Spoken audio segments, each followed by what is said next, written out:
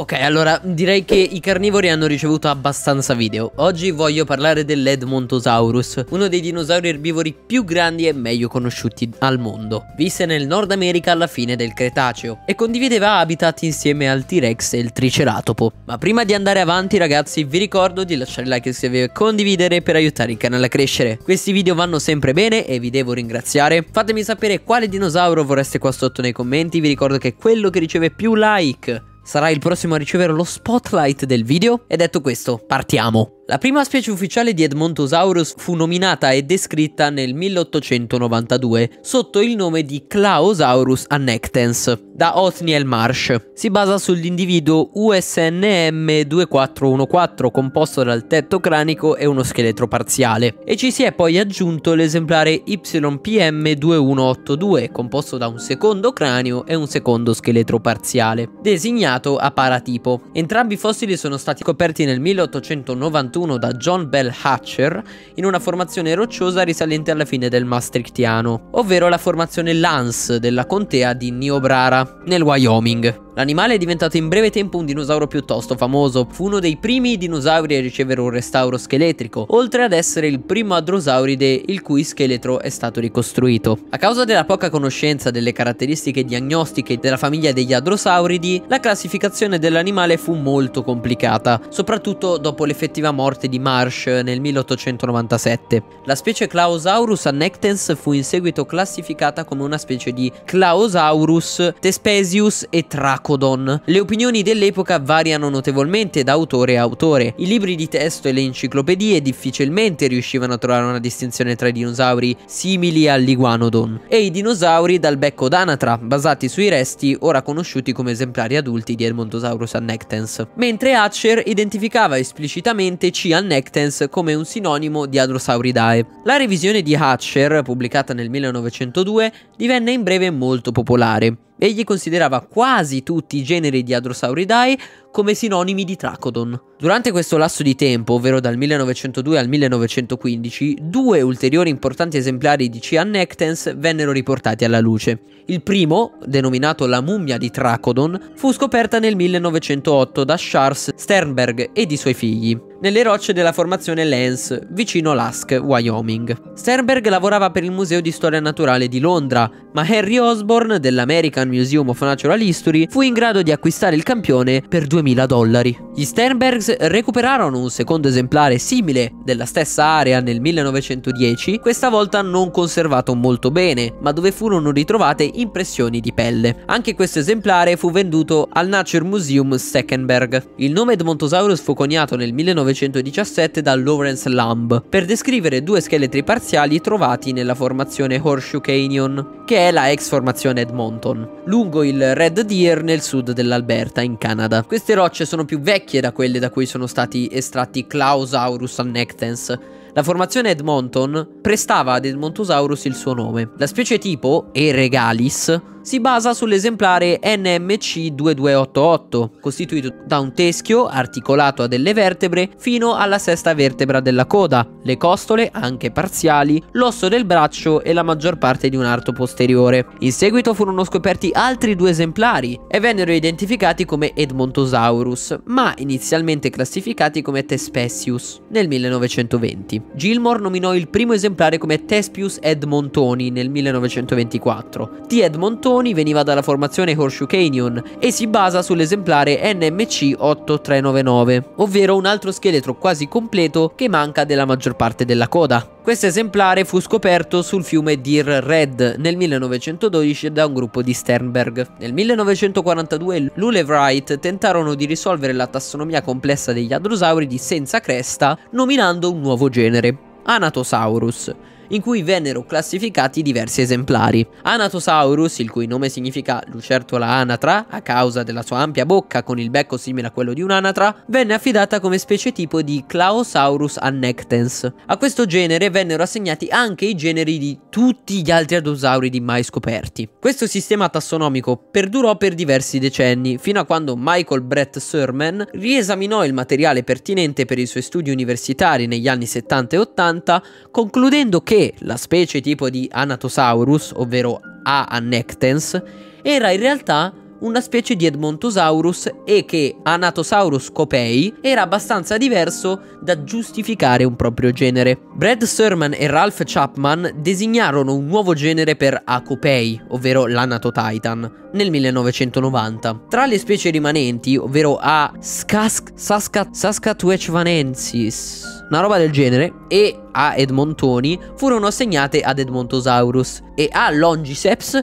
venne riclassificato come Anatotitan Longiceps sia come una specie o come sinonimo di A. copei. Poiché la specie tipo di Anatosaurus, A. nectens, fu sopraffatta da Edmontosaurus, il nome Anatosaurus venne abbandonato ed ora in avanti usato solo come sinonimo junior di Edmontosaurus. Ragazzi, la storia è veramente complicata, però per fortuna in uno studio del 2011 condotto da Nicolas Campione e David Evans condurrono le prime analisi morfometriche per confrontare i vari esemplari assegnati a Edmontosaurus essi hanno concluso che solo due specie sono da considerarsi valide, ovvero Edmontosaurus regalis, dal tardo campaniano, ed Edmontosaurus annectens, dal tardo maastrichtiano. Quindi Acopei, Assasquancenis, Anatotitan longiceps non sono più valide. Il loro studio, inoltre, ha fornito un'ulteriore evidenza che Anatotitan copei è un sinonimo di Edmontosaurus annectens, in particolare che il lungo e basso cranio di Acopei è il risultato di un cambiamento ontologico ontogenico e rappresenta un esemplare adulto di Edmontosaurus annectens. Quindi ne esistono solo due ragazzi. Il nome Anatotitan è ancora utilizzato da alcune persone, l'ho utilizzato anch'io, ma comunque l'importante è che capite che adesso di Edmontosaurus ne esistono due specie, ovvero Annectens e Regalis. Punto. Sempre nello stesso studio del 2011 vennero registrate e studiati molti crani degli Edmontosaurus noti, provenienti sia dal campaniano e sia dal maastrichtiano, per ricostruire l'ontogenesi, le variazioni individuali e le dimensioni del cranio. Il risultato del loro studio ha dimostrato che in entrambe le specie di Edmontosaurus molte caratteristiche precedentemente utilizzate per classificare le specie addizionali o i generi sono state direttamente correlati con le dimensioni del cranio.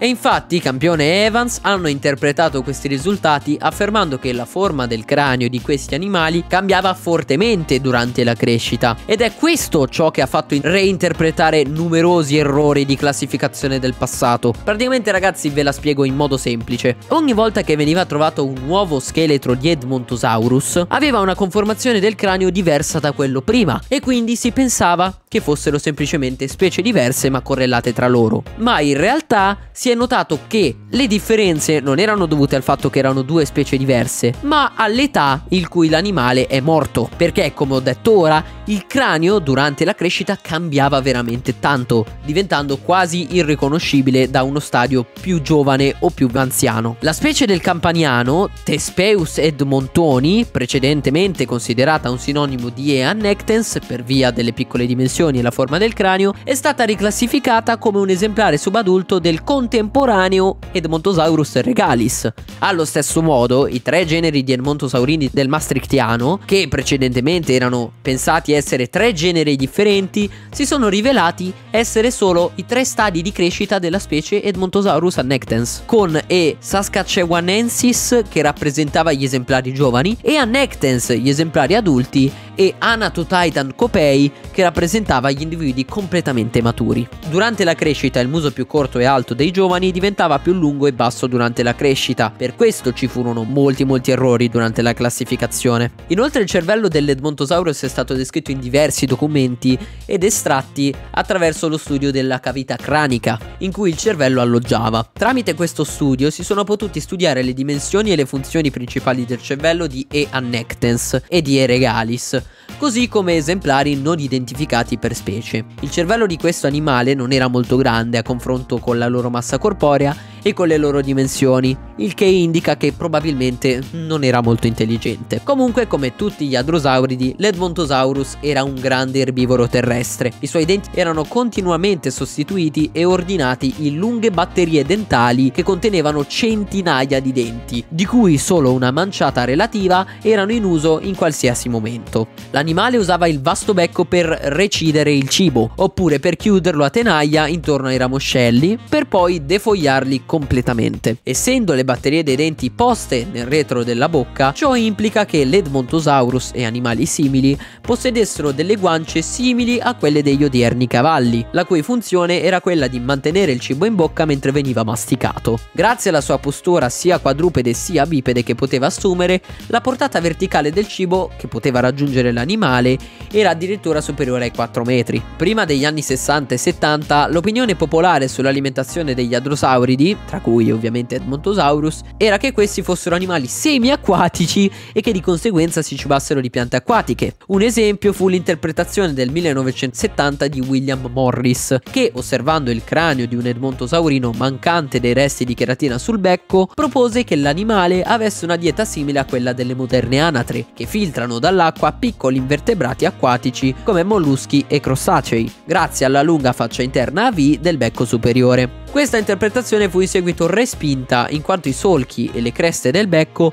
erano molto più simili a quelle del becco delle tartarughe rispetto alle strutture flessibili viste negli uccelli filtratori. Tra la metà del 1980 e il primo decennio degli anni 2000, l'interpretazione prevalente dell'alimentazione degli adrosauridi si basò molto sul modello proposto nel 1984 da David Weishampel. Egli propose che la struttura del cranio permetteva alla mandibola di compiere un movimento orizzontale e laterale, permettendo così la masticazione. I denti della mascella macinavano il cibo contro i denti della mascella inferiore, riducendo il materiale vegetale in poltiglia che veniva poi mantenuta all'interno delle guance. Un tale movimento ricorda la masticazione dei moderni mammiferi, pur realizzando gli effetti in modo completamente diverso.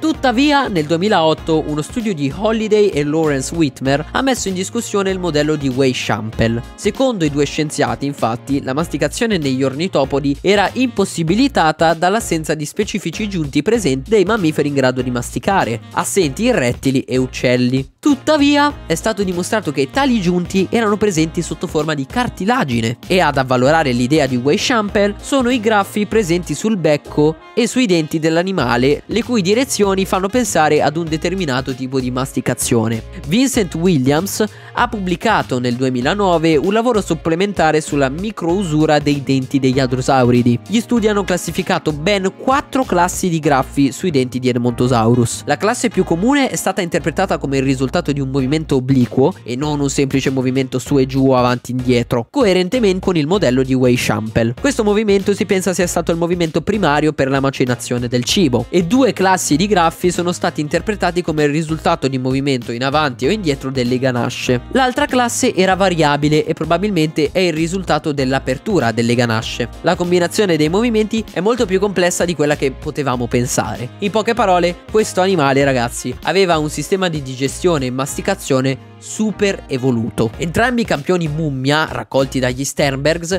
potrebbero effettivamente contenere dei possibili contenuti intestinali. Charles Sternberg segnalò la presenza di contenuti intestinali carbonizzati presso l'esemplare esposto all'American Museum of Natural History, ma tale materiale non è ancora stato descritto. Al contrario, il contenuto intestinale dell'esemplare mummia presso il Seckenberg Museum è stato descritto, ma si è dimostrato di difficile interpretazione. Le piante ritrovate nella carcassa cassa includevano aghi delle conifere che abitavano in quelle zone, rametti e alberi latifoglie e numerosi piccoli semi o frutti. La loro descrizione nel 1922 è stata oggetto di dibattito nel giornale di lingua tedesca, non ci provo nemmeno a dirlo. Leggetelo qua ragazzi. Krausel, che descrisse il materiale, interpretò il contenuto intestinale degli animali, mentre Abel non poteva escludere che le piante si fossero insediate nella carcassa dopo la morte dell'animale. Quindi ragazzi, sappiamo che mangiava erba, ma non sappiamo che cosa. Sappiamo qualcosa anche grazie ad altri adrosauridi, ma non siamo ancora sicuri. Comunque, come tutti gli altri adrosauridi, si pensa che l'Edmontosaurus fosse un bipede facoltativo, nel senso che durante la vita si spostava prevalentemente su quattro zampe, ma in caso di necessità potesse deambulare velocemente anche sulle due zampe posteriori. Probabilmente l'andatura quadrupede era un movimento lento usato dall'animale mentre si nutriva, mentre l'andatura bipede veniva usata durante la corsa magari per sfuggire a dei predatori. Una ricerca del 2007 condotta grazie a dei modelli al computer suggerisce che l'Edmontosaurus in posizione bipede poteva raggiungere una velocità di ben 45 km orari. Probabilmente le andature più veloci erano erano la galoppata, con cui potevano raggiungere una velocità massima di 15,7 metri al secondo, che sarebbero 57 km orari, e la corsa bipede con una velocità massima di 14 metri al secondo, che sarebbero all'incirca 50 km orari. L'Edmontosaurus, o meglio la specie E. annectens, visse nello stesso periodo e negli stessi luoghi del Tyrannosaurus rex e un esemplare adulto di E. annectens in mostra al Denver Museum of Natural and Science mostra segni di morsi di un teropode sulla coda, dimostrando quindi una relazione di predatore e preda tra i due animali. Infatti c'è un segmento anche molto carino eh, fatto su Prehistoric Planet in cui due tirannosauri adulti cacciano un Edmontosauro. Ragazzi, fatemi sapere che cosa ne pensate qua sotto nei commenti. Ho parlato per veramente troppo tempo. Se non avete capito qualcosa, scrivetemelo qua sotto nei commenti. Vi ricordo di lasciare like, iscrivervi e condividere per aiutare il canale a crescere. E detto questo,